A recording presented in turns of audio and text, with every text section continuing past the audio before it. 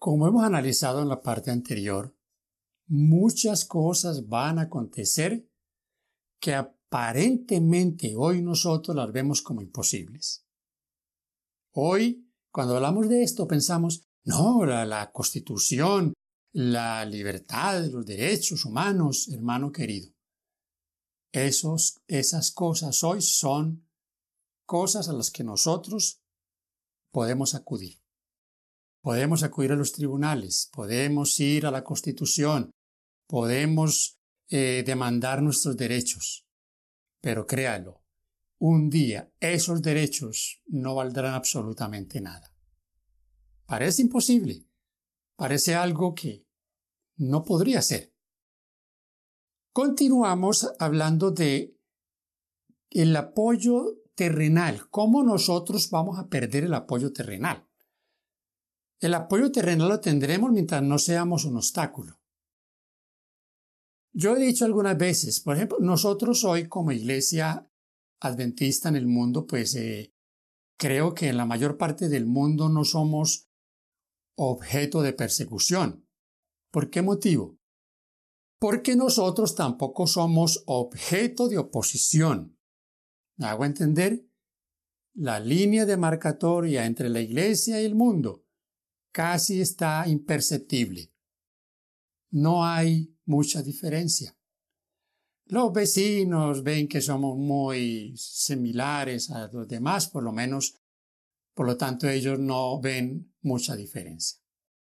Como yo lo dije en el video anterior, en el vestir, en el comer, en el hablar, en los juegos sociales, en la música que se escucha, nuestras relaciones sociales, en cómo andamos relacionados con los demás, la diferencia no se nota comienza a notarse la diferencia, comienza a hacer la diferencia y comenzarás a ver que va, vas a perder a tus amigos, vas a perder inclusive a tu familia y puedes perder aún a tus mejores amigos en la iglesia. Lo vas a ver. Privados de todo apoyo terrenal. Muy pronto la riqueza acumulada no tendrá ningún valor cuando se promulgue el decreto que nadie podrá comprar ni vender, excepto los que tengan la marca de la bestia, muchos recursos no tendrán ningún valor. Dios nos pide que ahora que hagamos, ahora que hagamos todo lo que podamos para amonestar al mundo. Se acerca el tiempo en que no podemos vender a ningún precio. Pronto se promulgará el decreto que prohibirá a los hombres comprar o vender si no tienen la marca de la bestia. Hace poco esto estuvo a punto de ocurrir en California, pero fue solo una amenaza de que soplarían los cuatro, los cuatro vientos. Hasta el momento, estos son retenidos por los cuatro ángeles, no estamos enteramente listos. Hay una obra que debe hacerse todavía y entonces se le ordenará a los ángeles que suelten, para que los cuatro vientos puedan soplar sobre la tierra, en el último gran conflicto de la controversia con Satanás. Los que sean leales a Dios se verán privados de todo apoyo terrenal, porque se niegan a violar su ley en obediencia a las potencias terrenales. Se les prohibirá comprar o vender, Satanás dice, por temor a que se les, les falte el alimento y el vestido, se unirán al mundo en la transgresión a la ley de Dios. La tierra quedará completamente bajo su dominio. Tremendo pensamiento este. Todo apoyo terrenal. Las cosas que hoy tienen mucho valor un día no lo tendrán. Y es importante que miremos esto desde el punto de vista de que no es malo tener. No es malo que tú tengas tu buena casa, posiblemente tu finca, que hayas comprado un terreno ya lejos de la ciudad. No olvides, vendrá el momento cuando ni lejos de la ciudad estaremos seguros. Cuando nos serán quitados aún aquellas cosas que hemos cultivado con tanto esmero, serán arrebatadas a muchos. ¿Estamos apegados a eso? Ese es el detalle. ¿Qué va a pasar cuando se nos prive de esas cosas? Siempre hemos pensado cómo es que no se va a poder comprar y vender. Hermanos, créanme que esto lo vemos ya, digamos, en, en situaciones políticas. Les voy a poner un ejemplo. ¿Cuántos venezolanos pudieron vender sus casas o sus tierras o sus propiedades para salir de Venezuela? Muy pocos. Y los pocos que vendieron tuvieron que regalar casi lo que tenían, darlo a precio que no era el precio justo. Cuando se restrinja la libertad, entonces no habrá tiempo de vender. Crean lo que pocos podrán vender. Tendrán que huir. Recuerden que hay dos formas de huir o de salir de las ciudades y de hacer, digamos, eh, provisión para que eh, en las ciudades no nos sorprendan una terrible crisis. Una cosa es salir planeando la salida y otra cosa es tener que huir. El que tenga que huir no podrá vender. Y menos si está defendiendo su fe. No podrá vender. Será expropiado. Hemos, hemos pensado, ejemplo, cuánto dinero se va a perder de ese dinero que está en los bancos, que pertenece a la iglesia y que pensando de que no va a pasar nada, no se haga nada con él y finalmente eh, el Estado expropie todos esos dineros. ¿Cuánto se va a perder? ¿Lo han pensado ustedes? Lastimosamente hoy encontramos nosotros no solo eh, a los líderes del mundo religioso diciéndole a los miembros que, que ya es hora de, de, de despojarse de la plata, de, de, entregar el dinero para la obra, pero lo están pidiendo para la obra de ellos, para llenarse en los bolsillos, pensando en que se van a jubilar y entonces ya se van a ir a, a refrescarse, abanicándose, viviendo una vida ya holgada. ¿Qué va a pasar cuando les vayan a quitar todas esas cosas que tanto han amado y por las que tanto se han esforzado? ¿A cuántos hermanos privaron de una ayuda por estar guardando el dinero? ¿Cuánto solamente le ofrecieron una oración. Sí, hay que orar por los enfermos, pero una oración no cuesta nada. Ir donde un enfermo, solo orar por él, teniendo la posibilidad de suplir una necesidad, es vana religión, lo dice el apóstol Santiago. Así que, hermanos, hoy es tiempo de que pensemos en que con lo que Dios nos da, podamos no solo ser fieles en devolver a Dios sus diezmos y ofrendas, sino en ayudar a otros. Y que esos que reciben salario de diezmos y ofrendas hagan lo mismo. Hagan lo mismo. Sí, suplan las necesidades de su casa, pero aparten también para aquel que necesita una ayuda en un momento de crisis. Crisis que estamos viviendo ahora, una crisis terrible.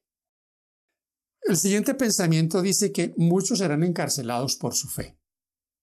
Cosa seria esta, porque cuando ya se me prive de la libertad, ahí las cosas se ponen difíciles. Pero ya lo hemos dicho, hermanos queridos, el que ha confiado en el Señor no va a titubear en ningún lado. Estará firme, firme como una roca. No olviden, los tres jóvenes hebreos que no se postraron ante la imagen de Nabucodonosor no resolvieron eso a última hora. No fue que ahí decidieron, bueno, vamos a ser fieles. No, eran fieles, venían teniendo una relación con el Señor. Eso tiene que estar claro. Lo mismo pasó con Daniel. Daniel no fue fiel a última hora para no ser echado al foso de los leones, no. Fue fiel siempre.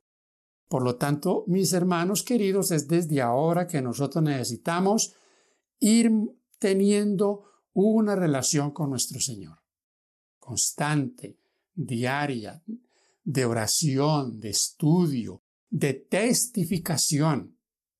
Eso es vital. Nada te va a separar del Señor si tú haces eso.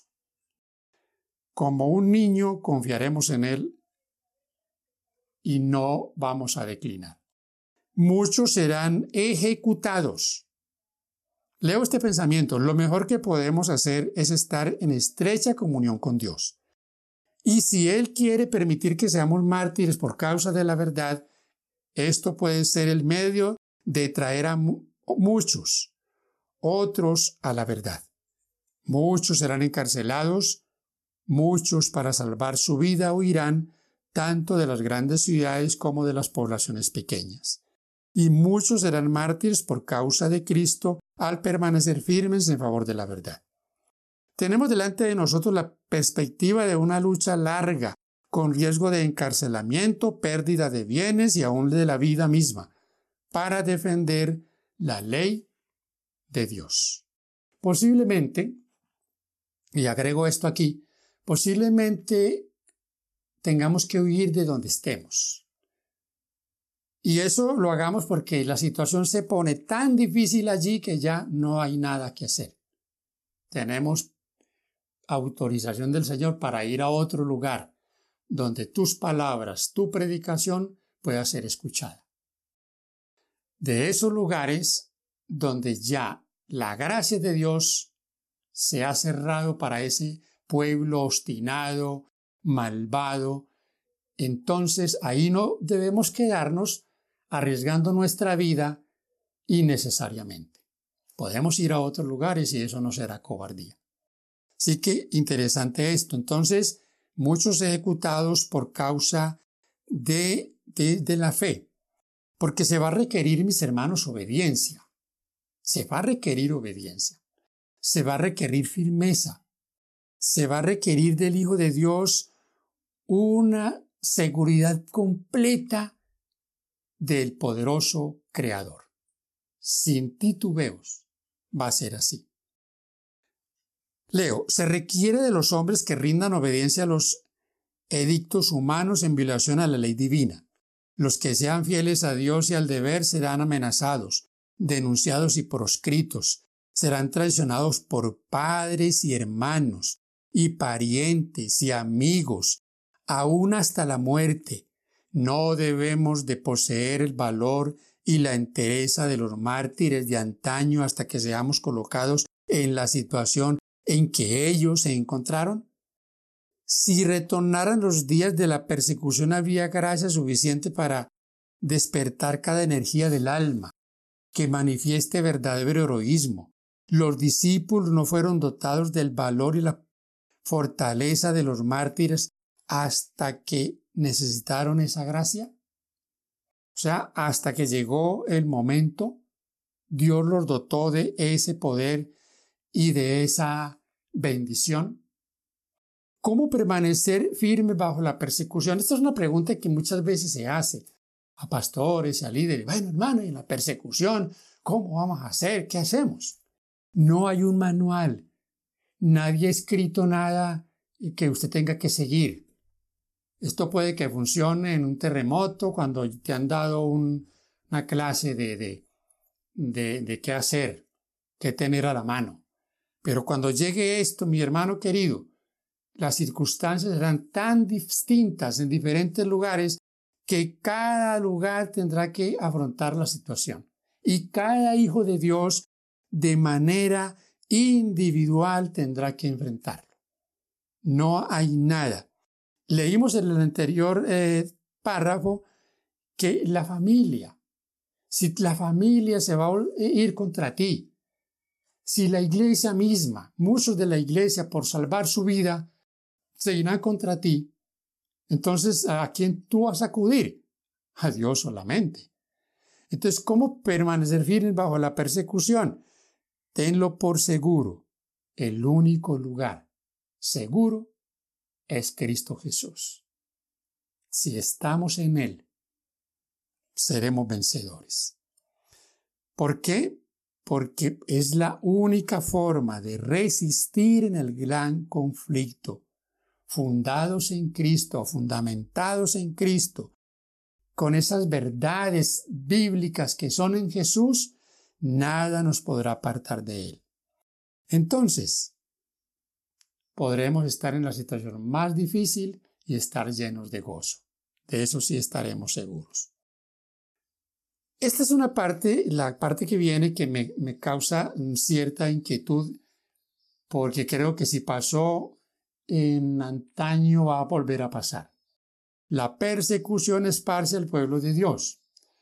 Y lo vimos en diferentes etapas. Una etapa bíblica muy conocida es la muerte de Esteban. En Hechos 7, cuando Esteban es apedreado, dice el comienzo del capítulo 8 que la iglesia se esparció por todo el mundo. Fueron a diferentes lugares. ¿Pero qué hizo esto? La persecución. Yo he dicho, hermanos queridos, que lo que va a purificar la iglesia va a ser la persecución. A la iglesia no la va a purificar ningún sermón, ningún pastor, ningún líder que predique bonito. A la iglesia la purificará la persecución.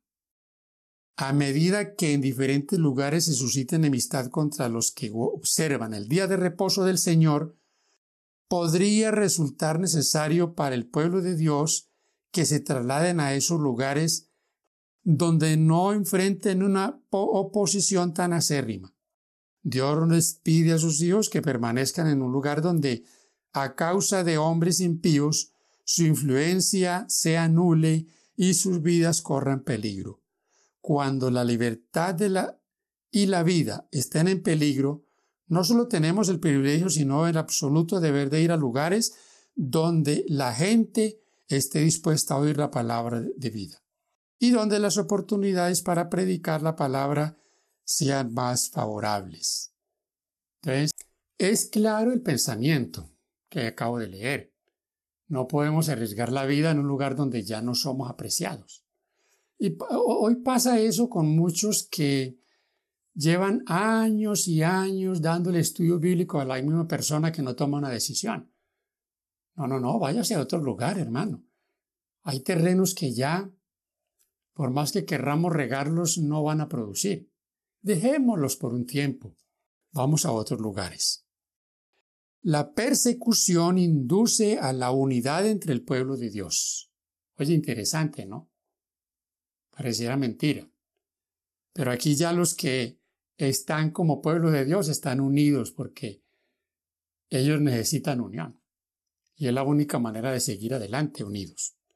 Cuando la tormenta de la persecución realmente se desate sobre nosotros, las verdaderas ovejas oirán la voz del verdadero pastor. Se harán esfuerzos abnegados para salvar a los perdidos, y muchos que se habían extraviado lejos del redil regresarán para seguir al gran pastor. El pueblo de Dios se unirán y presentará al enemigo un frente unido. Ante el peligro común, cesará la lucha por la supremacía y no habrá disputa sobre quién debe ser considerado el mayor. Nadie va a estar pidiendo pleitesía, ningún anciano, ningún pastor pidiendo de que se le rinda homenaje aquí. No.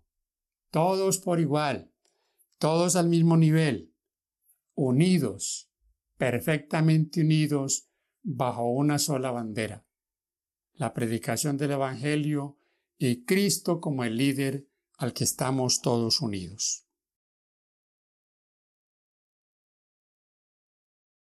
La crisis hace más llamativa la intervención de Dios. Saben, hermanos queridos, la crisis va a hacer que deseemos no solo la liberación, sino que deseemos que la obra avance, que termine para ver venir al, al Rey de la Gloria. Y yo sigo repitiendo, no podemos estar felices acá por más comodidades que tengamos, por más cosas que tengamos a nuestro favor. Como dijo Mardoqueo a Esther, si tú no haces nada, por temor a perder tus comodidades?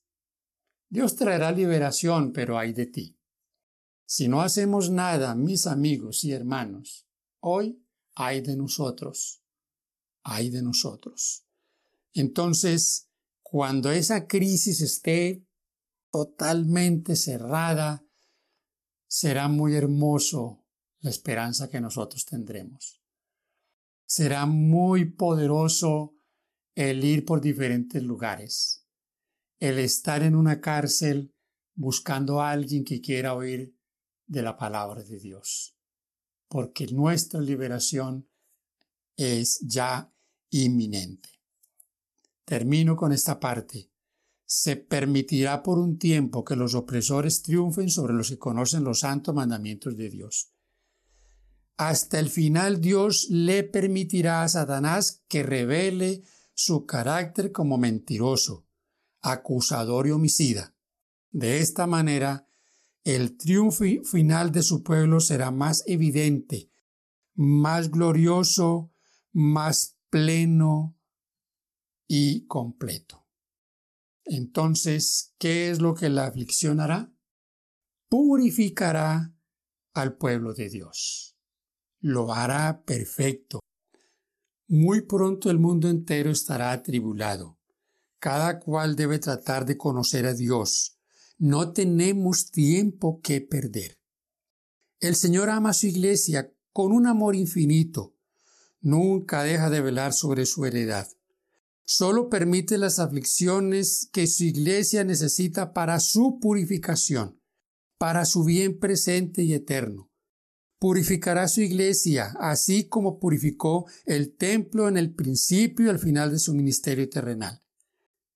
Todas las pruebas que inflige a la iglesia tienen como propósito dar a su pueblo una piedad más profunda y una fuerza mayor para llevar los triunfos de la cruz a todas partes del mundo. Hermanos queridos, son pensamientos que son muy, muy fuertes, la verdad que sí.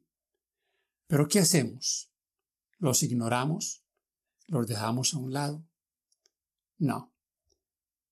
Apropiémonos de ellos Tratemos de interiorizar esas cosas y crean lo que nos ayudarán mucho. La palabra de Dios y los testimonios harán que finalmente nosotros estemos firmes, firmes, como dice el mismo espíritu de profecía, como la brújula del polo. Que Dios nos ayude. Gracias por acompañarnos, gracias por eh, compartir el mensaje que hemos eh, compartido con ustedes. Gracias también por eh, suscribirse y por sus comentarios. Crean que sus comentarios son valiosos. No importa si no estás de acuerdo. Respetamos eso. Valoramos eso. Sabemos que en cada corazón hay una lucha, pero que en el fondo tenemos un deseo. Tenemos el deseo de la redención. Que el amor de Dios te cubra, nos cubra a todos Así que bendiciones y salud para usted.